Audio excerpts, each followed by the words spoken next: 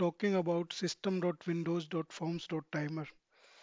So if you remember in our previous video, we talked about system.threading.timer and uh, system.threading.timer we know that it runs its callbacks on thread pool threads and it was reentrant.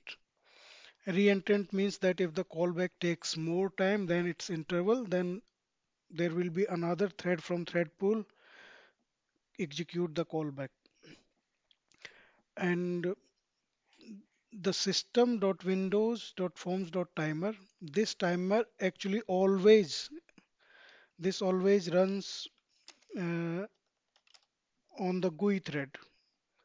GUI thread is the thread which creates all the Windows GUI controls.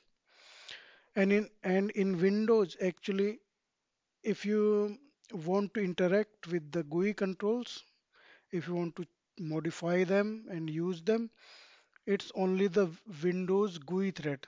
That means the thread which has created those controls can touch those controls. No other thread can touch them. And that's called the concept of thread affinity. So all the controls have thread aff affinity to its creator. So if the thread has the main thread or the GUI thread creates its children controls, it's only the GUI thread which can change them or modify them or touch them. And that's the big difference. The system.windows.forms.timer always runs on GUI thread. Always runs on GUI thread. And it has its own advantage and disadvantage. The advantage is that you can touch the GUI controls and then directly since it's the GUI thread which is running the timer and you can modify them use them or whatever you want to do with your UI controls disadvantage is that if you are running some time taking task like if you are you are running some calculation which can take time then your GUI thread will be blocked for that amount of time and then you cannot do anything uh, with your UI. So your UI will be freezed because that's your, because your GUI thread is busy. he is busy in calculating or doing some time taking operation and that's the disadvantage. So we should be very careful while while we want to use the timer from windows system.windows.forms.timer but it it has its own advantage. If we want to let's say just update a label or do something very quickly then it's uh, beneficial.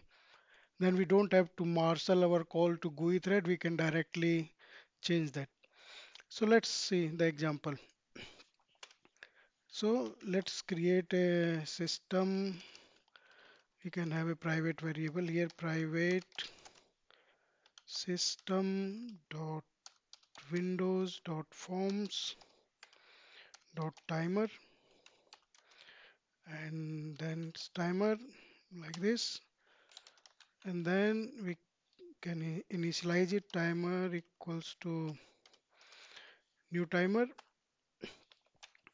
it has two overloaded constructor. One is default which takes no parameter. Another one which takes system.component model.i container. It can be any container which implement this i container interface. But for now we will be looking only this one.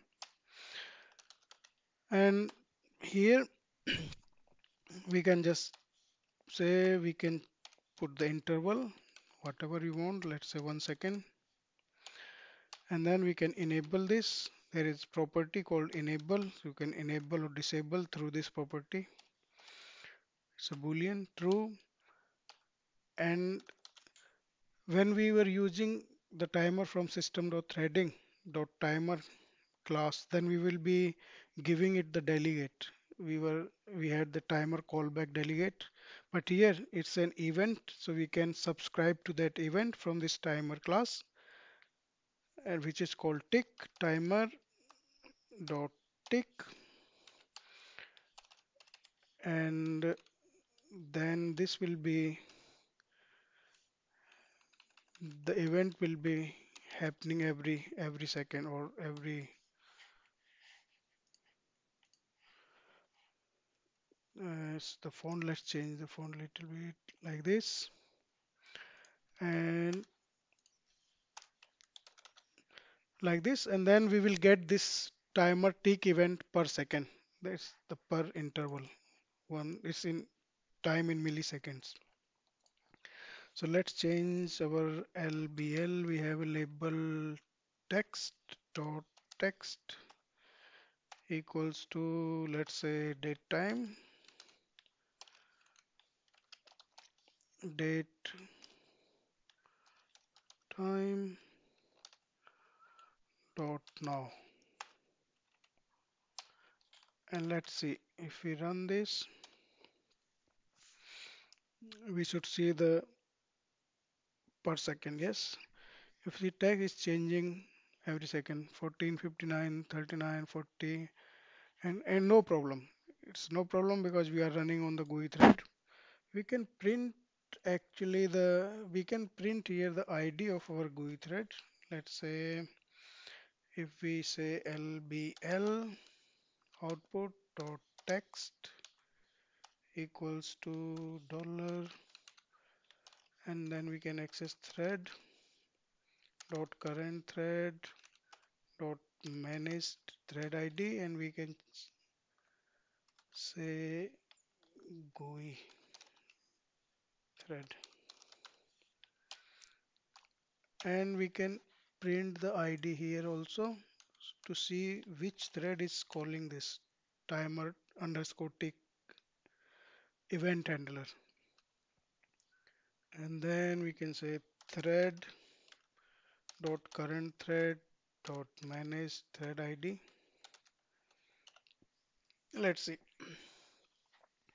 GUI thread is one and if you look this the id is one here also and then we can we can see that the timer tick event handler is is executing on the GUI thread. Now let's say this thread is blocked. It's doing some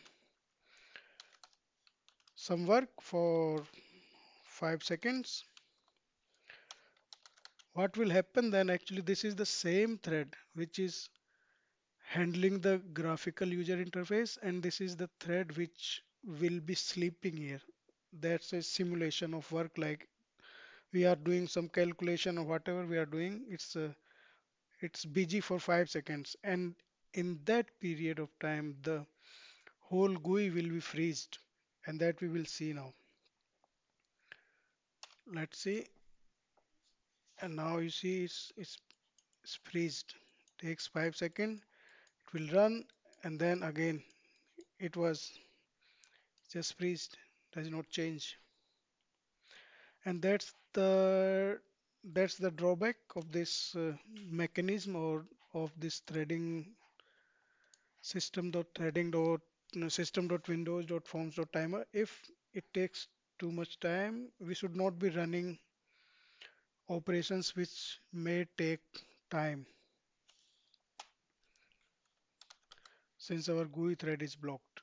We can also see I have a button here. If we simulate it through this we can say GUI thread and it's now running. And if I press the button the GUI thread will be blocked for 5 seconds like this and then the whole GUI is freezed. And now now it's coming has come back you can enable disable the timer by or enable or you, you can stop or start whenever you want. But basically the point to remember with with windows system.windows.forms.timer is to actually use it only if you want to just update something.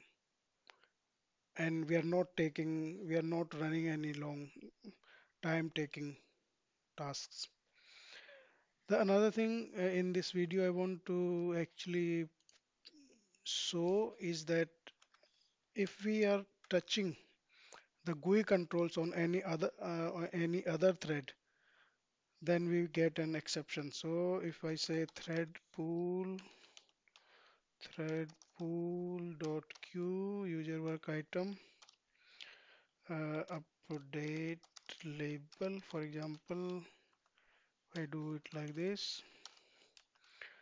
And if I change anything if I touch any let's say label lbl output dot text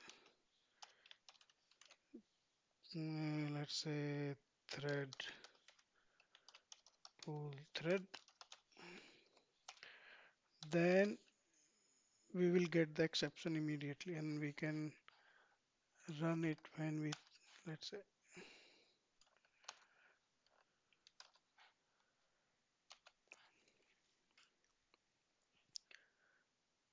clicking the button and then we get the exception.